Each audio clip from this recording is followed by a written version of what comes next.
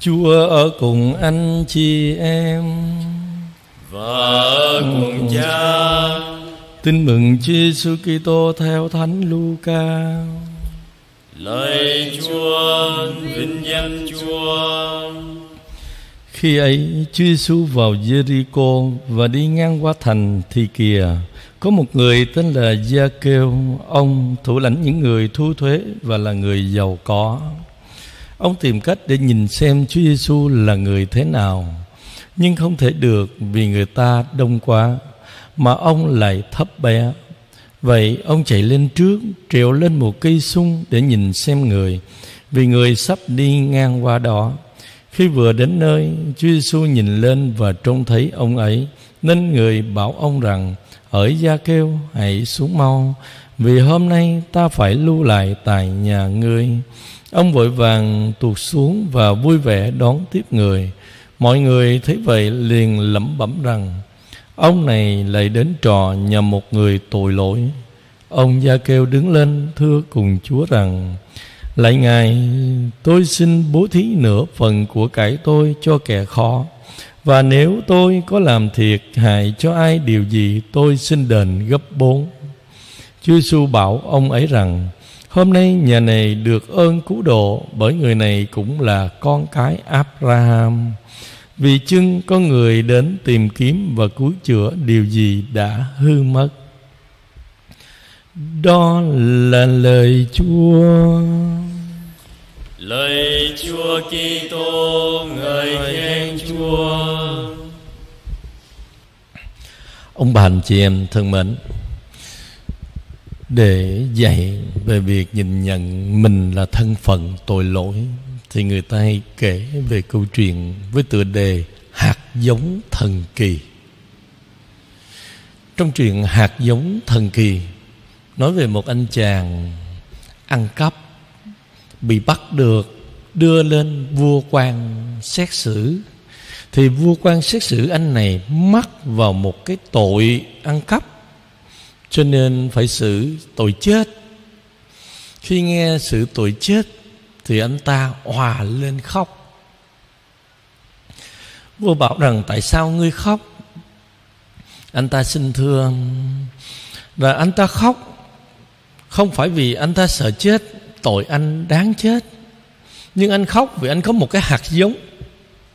Mà ông bà tổ tiên để lại, nó là một cái hạt giống thần kỳ nó thần kỳ ở cái chỗ là hạt giống này, khi gieo xuống đất, thì tức khắc nó lên cây, nó sinh hoa và kết quả ngay tức khắc. Nhưng nó có một cái điều kiện, cái người nào mà trồng cái hạt giống này đó, hạt giống này chỉ lên cây khi cái người trồng nó là người không có tội. Là người sạch tội thì trồng thì cái hạt giống này mới lên thì anh chàng phạm tội ăn trộm này bảo hạ thần không thể trồng được. Vì hạ thần mắc tội, ăn cắp. Vậy thì xin nhà vua cho các quan của nhà vua đây trồng dùm cho hạ thần. Thì nhà vua nhìn tể tướng và các quan. Thì nhìn tể tướng đầu tiên nhà vua đó, vậy thì tể tướng bước ra trồng cái hạt giống này cho hắn vì tể tướng cũng cúi đầu và nói, không được, hạ thần trồng chắc nó không lên cây, vì còn nhỏ hạ thần cũng có mắc tội nữa.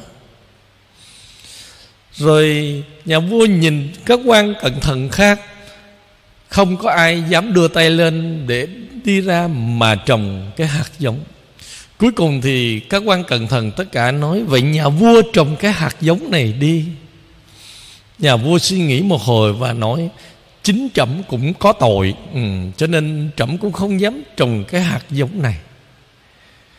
Qua câu chuyện đó để cho chúng ta thấy Nhà vua có tội, tể tướng có tội và các quan cận thần có tội.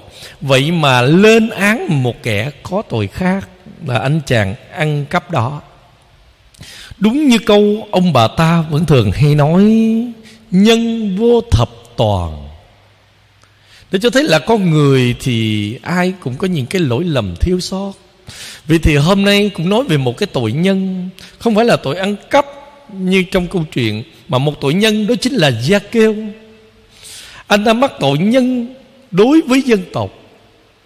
Vì đối với người do thái thời chúa giêsu lúc bấy giờ có hai cái tội ừ, hay gọi là hai cái nghề mà bị người ta xem thường và coi là tội.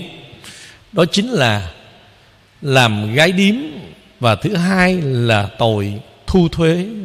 Bà gia kêu hôm nay trong bài tin mừng chúng ta nghe, gia kêu là một người lùn giàu có, làm trưởng của những người thu thuế.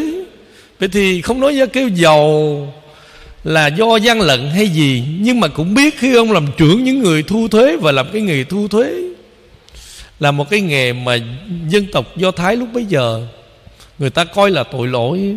Tội lỗi cái thứ nhất vì làm nghề thu thuế là cộng tác với đế quốc roma để bóc lột dân tộc nhà.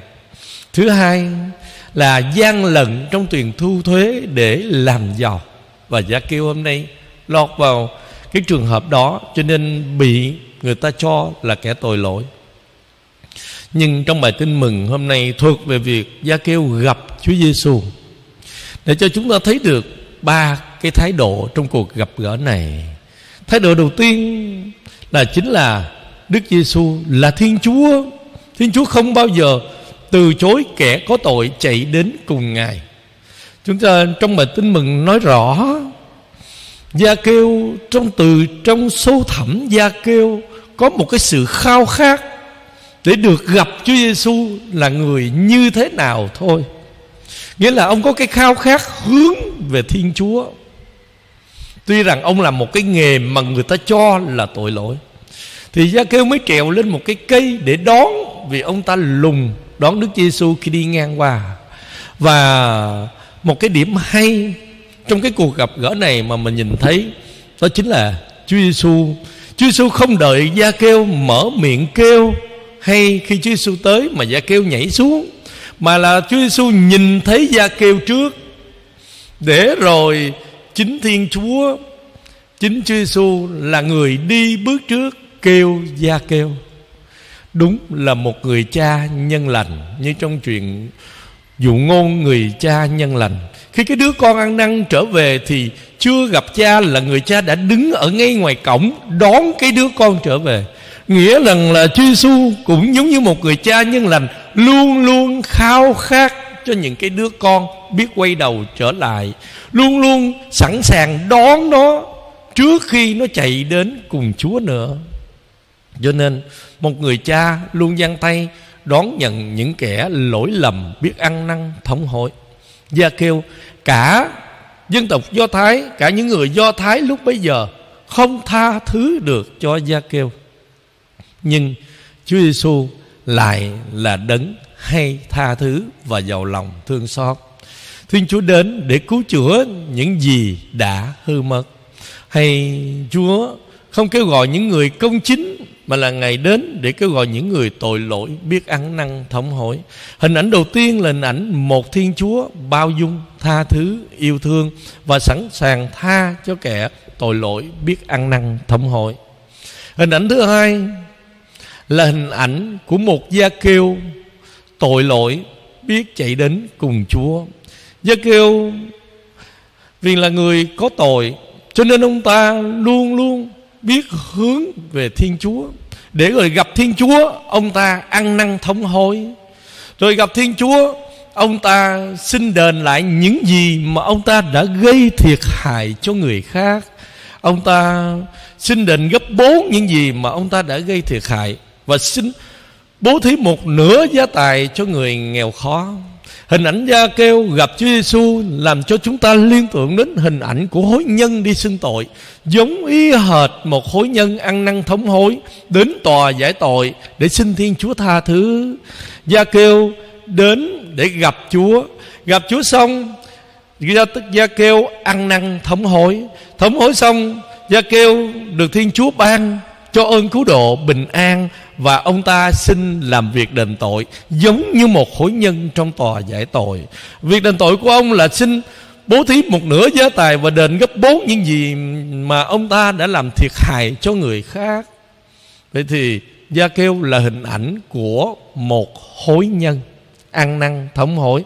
Và cuối cùng kết quả là gia kêu được ơn cứu độ. Hình ảnh thứ ba là hình ảnh của những người cho mình là người công chính vì khi cho mình là người công chính thì tự mình nâng mình lên cao và tự mình trở thành một kẻ kiêu ngạo. Như trong quyển đường hy vọng của đức cố hồng y francisco nguyễn văn thuận, ngài có nói nếu như một người mà nói mình công chính, nói mình không có tội là mắc hai tội. Tội thứ nhất là tội kiêu ngạo, vì là con người thì không có ai là không có tội cả nếu mà không có tội thì người ta đâu có cái câu nhân vô thập toàn. Và cái tội thứ hai là cái tội nói láo. Mình có tội mà nói là mình không có tội là một người nói láo. Vậy thì qua hình ảnh của yêu thương của Đức Giêsu hôm nay và hình ảnh thứ hai là hình ảnh ăn năn hối lỗi của Gia Kêu và hình ảnh thứ ba là hình ảnh của những kẻ tự xưng mình là người công chính cho chúng ta ba cái bài học. Bài học thứ nhất là bài học nhìn vào hình ảnh của Gia Kêu nhân vô thập toàn. Để mỗi người chúng ta ý thức hơn mình là thân phận lộ tội lỗi để mà biết khiêm tốn, khiêm tốn luôn biết hướng về Thiên Chúa để xin ơn chữa lành từ Thiên Chúa. Và luôn luôn phải như trong kinh cáo mình chúng ta vẫn đọc thường ngày lỗi tại tôi lỗi tại tôi mọi đàn hình ảnh thứ hai là hình ảnh của những người tự cho mình là công chính. Đó là những kẻ kiêu ngạo. Đừng sống theo kiểu kiêu ngạo. Đừng cho mình là công chính. Vì không có ai là không có lỗi. Đôi khi chúng ta thấy được tội của người khác mà lại không thấy được tội của mình. Như cái tội của người khác giống như một cái giỏ để phía trước. Tội của mình giống như một cái giỏ để phía sau vậy chúng ta thường hay thấy lỗi của người anh em mà không thấy lỗi của chính bản thân. Nhiều khi lỗi của mình phạm còn nặng hơn cả lỗi của người anh em, nhưng mình chưa bị bại lộ thôi. Người ta chưa thấy thôi. Hoặc là anh em có lỗi này, mình có lỗi khác, chứ không phải mình là một vị thánh. Nếu mà mình là con người mà không có lỗi, đã trở thành một vị thánh rồi, chứ đâu còn là con người nữa. Cho nên, mình đừng đừng tự xưng tự hào mình là người công chính để mà lên án kẻ khác. Những người do thái hôm nay cho mình là người công chính, lên án gia kêu, lên án một con người tội lỗi. Rồi chính mình hôm nay nếu mình tự hào, mình nâng mình lên là người công chính, thì tự mình kêu ngạo. Và khi tự mình cho mình là người công chính, thì mình không cần ơn cứu độ từ thiên chúa nữa. Tại vì con là công chính rồi, con đâu cần ơn chữa lành từ thiên chúa. Nghĩa là đối với anh em thì con khinh thường mà đối với thiên chúa, thì con không phó thác, con không cậy trông nữa vậy hãy nhớ, con có khi đang là một gia kêu của ngày hôm nay, đừng lên án những gia kêu khác và thứ ba là chính nhìn vào tình yêu của Thiên Chúa. Chính Thiên Chúa là một người cha giang tay. Chính Thiên Chúa luôn luôn tha thứ và bao dung. Vậy để kết thúc bài tin mừng hôm nay, chúng ta nhớ rằng mỗi người mình là một hối nhân. Một con người mang nhiều tội lỗi. Chỉ điều quan trọng là con hãy biết chính bản thân con đang là một tội nhân để biết chạy đến với Thiên Chúa xin ơn chữa lành từ Ngài. Amen.